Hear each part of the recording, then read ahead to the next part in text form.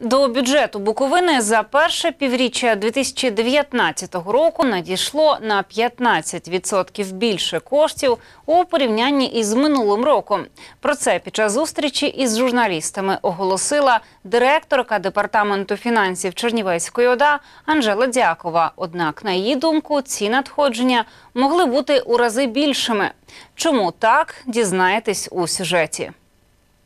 За перше півріччя цього року у порівнянні з минулим спостерігається приріст надходжень. Станом на сьогодні в області немає заборгованостей по виплаті заробітних плат у державних сферах, а у громадах доходи в розрахунку на одну особу збільшились майже на 250 гривень, говорить Анжела Дякова, директор департаменту фінансів Чернівецької ОДА.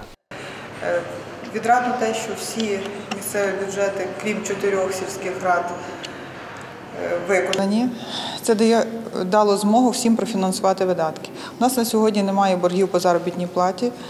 Е, Ви десь чуєте, можливо, що в інших областях є вже такі проблеми, і це в засобах масової інформації висвітлено. Е, На сьогодні ми проводимо всі видатки, які є наразі в кошторисах установ, тому проблем як таких немає. Однак даний підйом економічних показників міг бути набагато вищим. Більшість надходжень до бюджету йде саме з державних установ, а не з торгівлі чи промисловості. На думку Анжели Дякової, це зумовлено високим рівнем тіньової економіки. Майже 40% працевлаштованих буковинців отримують заробітну плату у конвертах. Сумно те, що е, найбільше надходжень до місцевих бюджетів це все-таки е, бюджетна сфера сплачує.